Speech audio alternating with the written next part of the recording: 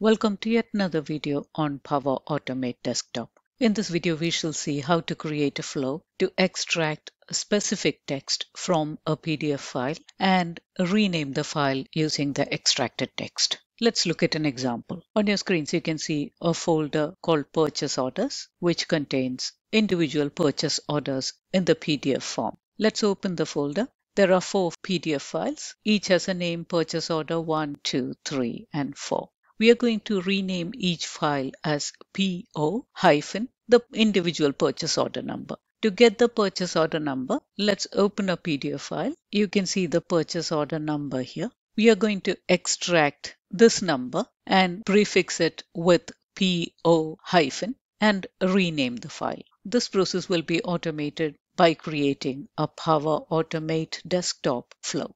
So let's close this file for the time being and go back to the original folder. Let's copy this folder path as that will be required for creation of the flow. And for that, if you're using Windows 11, you can right click on the purchase orders folder, click on copy as path. Now let's open the Power Automate desktop app. So in the search window, I already see the Power Automate desktop app.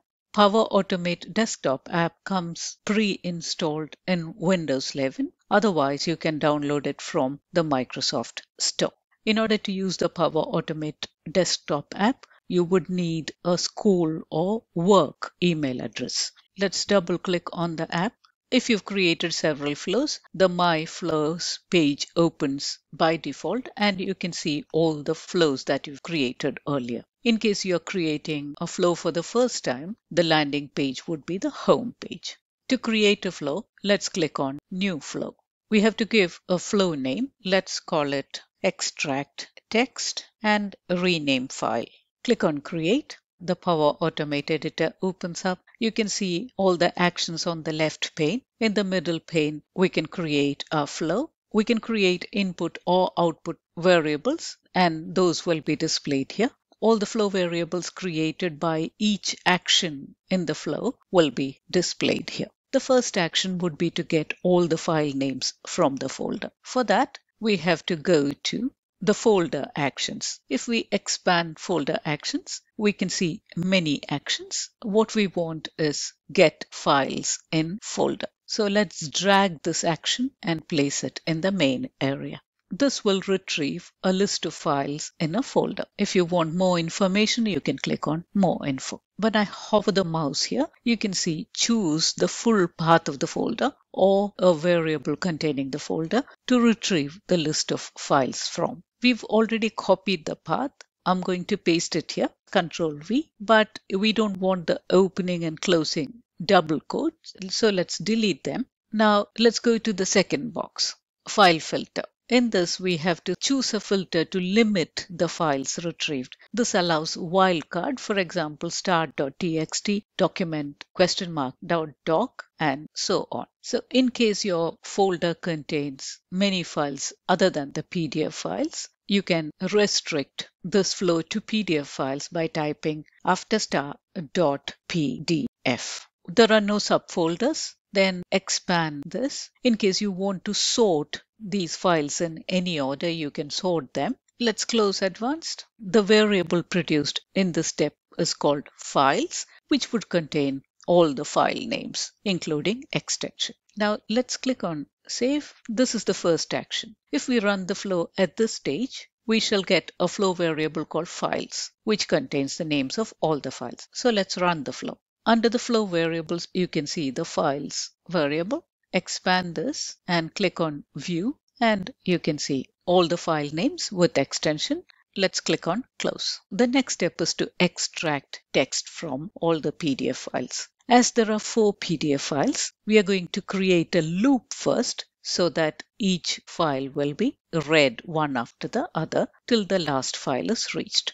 In order to search for loop actions, let's type loop in the search actions box and we can see all the loop actions available. Let's use for each. For each loop iterates over items in a list, data table or data row, allowing a block of actions to be executed repeatedly. So this action will iterate over all the files in the folder. So let's drag this action and place it below get files. The value to iterate will be the flow variable which is produced as a result of the first action. The flow variable in this case is files. To get files, let's click on this X mark. When I hover the mouse over that, you can see select variable and we can see the variable name files. Let's select this, click on select and we get the variable. Each file name that is read will be stored in a variable called current item by default, but we can change this. So I'm going to click on this and edit it as file. So the details of each file that is read will be stored in this variable called file. Let's click on save. Now for each file and files, we have to specify all the steps that are to be performed on each file. The next step is to extract text from each file that is read. So in the search actions box, let's type PDF, drag the action, extract text from PDF, within the loop. The first option is PDF file and we have to specify the PDF file to extract text from. Enter a file path or a variable containing a file or a text path. The PDF file is available in the file variable. So let's click on this button and select file. This variable will contain the file name that is currently read. So let's click on select and pages to extract. Our PDF file contains only one page, so we can use all. Otherwise, if your purchase order numbers are contained on a specific page, you can select a single page. So I'm going to select all. Now, if you expand advanced, you can see a password box. In case your file is locked, you can provide the password to open it. The variable produced by this action is called extracted PDF text. We are fine with that, so let's click on save. If we run this flow, we will get the variable extracted PDF text. So let's run the flow and view the extracted PDF, which will contain the extracted details of the last file that is read. You can double click on this expand this and you can see all the extracted text. The extracted value at the moment is in the form of a single document, but we want to split this extracted text into individual lines so that we can extract this purchase order number from this line. For that, let's use the split text action. So in the search actions Let's type split and you can see the split text action. The split text action creates a list containing the substrings of a text that is separated by a specified delimiter or a regular expression. So let's drag this below extract text from PDF but within the loop. The text to split is in the extracted PDF text variable. Let's select the variable by clicking on this button Select extracted PDF text. Click on select. The delimiter type, let's use standard. Standard delimiter, let's expand this and select new line. So the entire text will be split into several lines. Times, let it be 1. All the lines extracted from the extracted PDF text will be stored in this variable text list. Click on save. Let's run the flow at this stage and look at the text list variable. Double click on text list variable and you can see the index number for each line. We can refer to the line that we want by adding the line number after the variable in square brackets. The line that we want is 6 purchase order number 914268. We can refer to this line 6 by suffixing the text list with the line number in square brackets. So we will refer to this line as text list within square brackets 6. We will do another split text action on this line so that we can extract this number. Close this for the time being. Let's drag and drop the split text under this. And this time the text to split will be, let's click on this button and select text list. Click on select, but what we want is only the sixth line of the text list. So let's suffix text list with square brackets 6 and square brackets because the purchase order number is in line 6. Now, the delimiter type is the standard delimiter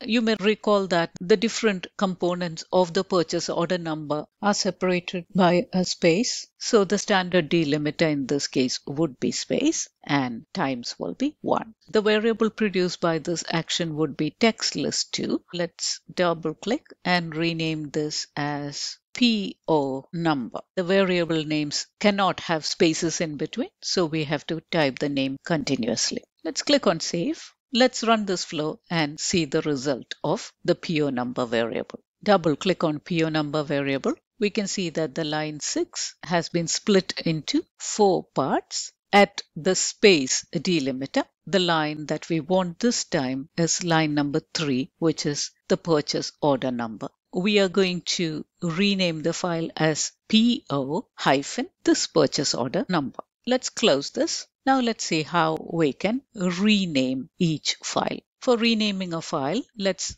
search for file actions. In the search actions window, let's look for file. We are going to use the rename files action. Let's drag it and drop it under the second split text within the loop. The file to rename is in the variable file because that is the current file that is read Let's click on this button and select File, Rename Scheme, set a new name. There are other options as well. We are going to set a new name.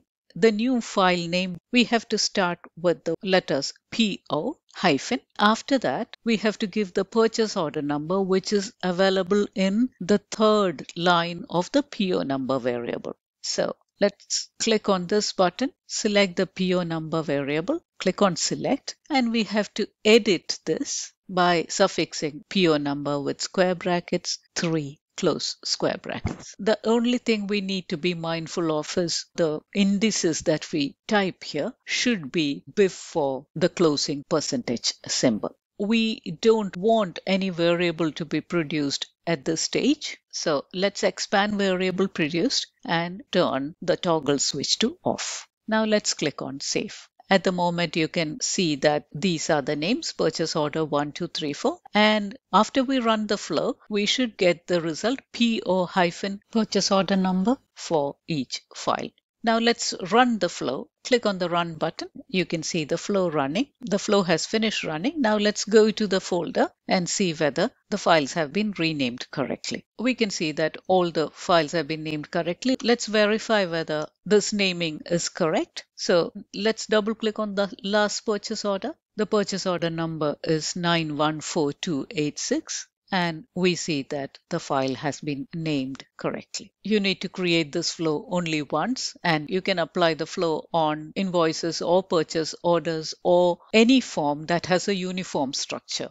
To save this flow, click on Save. Let's close this editor. We can see the new flow that's created. We can run the flow from here or we can edit the flow by clicking on the edit button. If we expand this, you can see rename the flow, create a copy, delete, and properties as well. Hope you found this video useful. If you like this video, please click on the like button and share it with your friends and colleagues. Our channel has a lot of useful content, including 35 exclusive videos on Power BI PL300 certification exam. Please subscribe to our channel and while subscribing, please remember to click on the bell icon and to select the all option so that you shall be notified as soon as we upload new content in our channel. We are very grateful to our subscribers and viewers for their continued support. See you again with yet another video. Have a great day.